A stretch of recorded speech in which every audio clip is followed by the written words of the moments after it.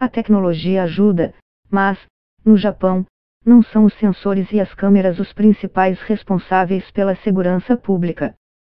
É uma combinação bem sucedida de leis rigorosas, policiamento preventivo, ações comunitárias e educativas que tem garantido ao país uma posição de destaque entre os lugares mais seguros do mundo. No Brasil, em 2017, dado mais recente no comparativo, foram contabilizados mortes violentas, o maior índice da história. Isso equivale a 30,8 homicídios para cada 100 mil pessoas.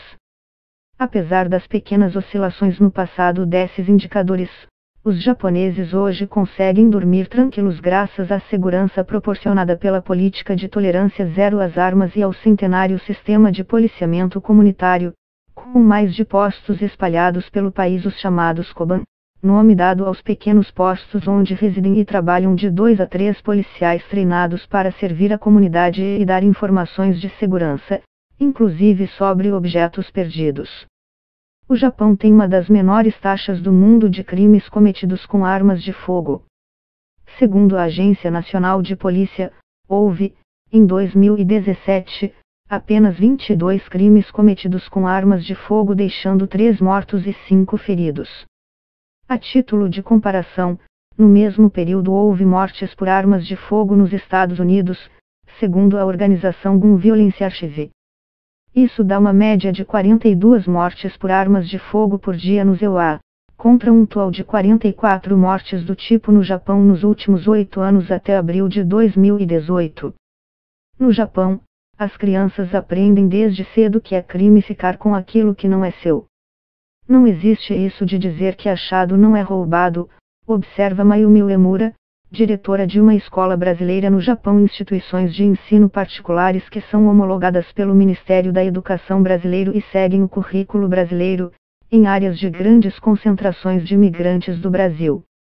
A escola dirigida por Uemura fica em Josu, cidade com pouco mais de 2 mil brasileiros localizada na província de Ibaraki, que tem cerca de 6 mil brasileiros e os estudantes são frequentemente convidados para participar de atividades com a polícia, como palestras sobre drogas e até campeonato de futebol promovido por policiais.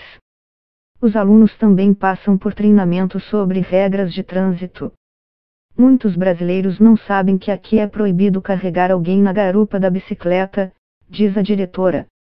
A lei para ciclistas é de 2015 e pune com multas e prisão quem for pego pedalando alcoolizado. Também proíbe pedalar com fones de ouvido, mexendo no smartphone ou equilibrando um guarda-chuva.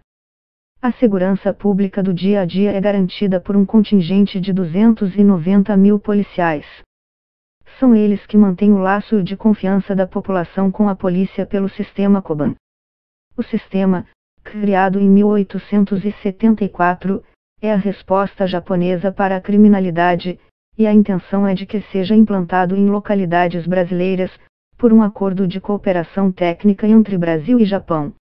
No entanto, na opinião de um policial japonês que fez estágio na polícia brasileira e não quis ser identificado na reportagem, a implantação do modelo japonês no Brasil será complicada devido às diferenças entre os países. No Japão repleto de leis rigorosas, não é de estranhar que policiais façam suas rondas ostensivas de bicicleta e abordagem sem uso de armas de fogo, recorrendo apenas a movimentos de artes marciais ou até mesmo redes e cobertores quando é necessário conter um suspeito.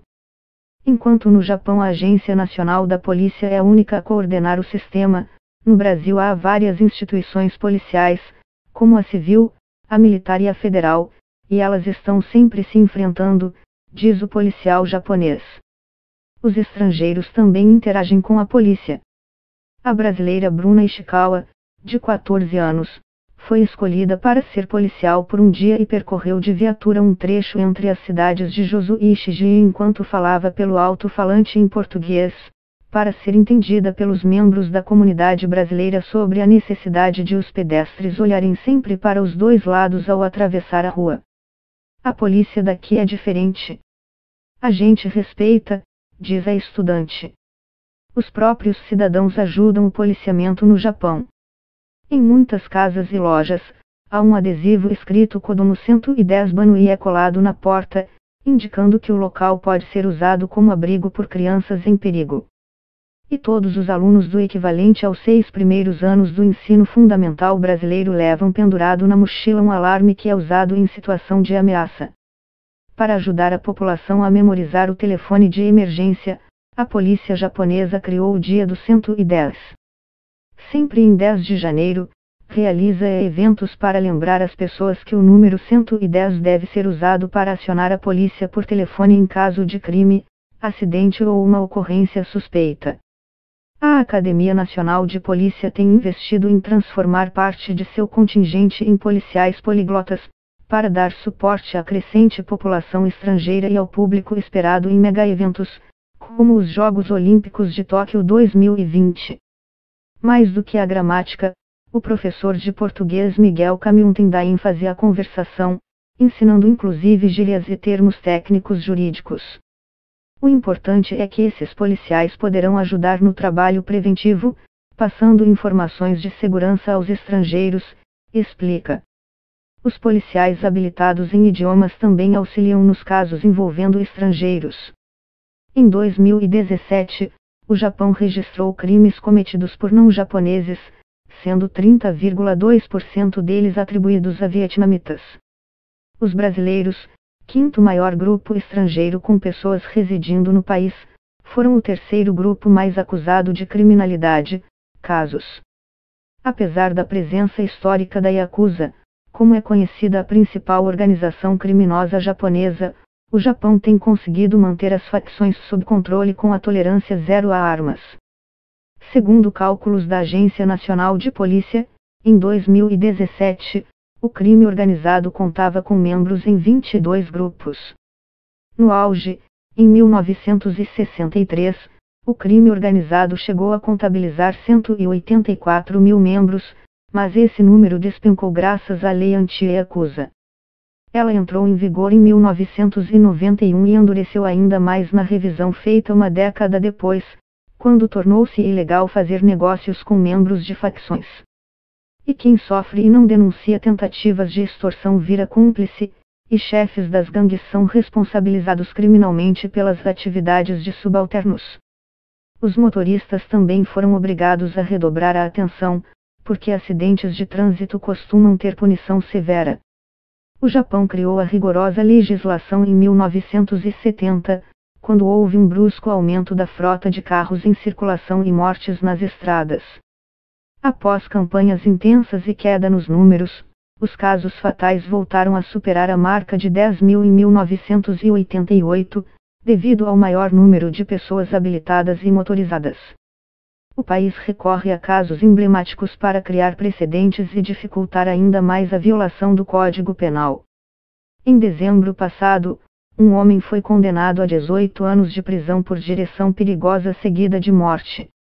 O réu perseguiu o carro de uma família e, depois de ultrapassá-lo, forçou a mulher e o marido dela a pararem o veículo no meio da via expressa, quando foram então atingidos por um caminhão. A lei seca surgiu após outro episódio de grande repercussão nacional, ocorrido em 2007. Um motorista embriagado provocou a morte de três crianças no trânsito, motivando o endurecimento da legislação. Casos em que gerentes de bar ou amigos servem álcool sabendo que a pessoa vai dirigir, ou mesmo pegar carona ou emprestar carro a alguém alcoolizado, podem resultar em prisão de todos os envolvidos. Outras violações das leis de trânsito podem levar à perda imediata da carteira, pagamento de multa e até prisão. Se você quer comprar uma arma no Japão é preciso paciência e determinação, é necessário um dia inteiro de aulas, passar numa prova escrita e em outra de tiro ao alvo com um resultado mínimo de 95% de acertos.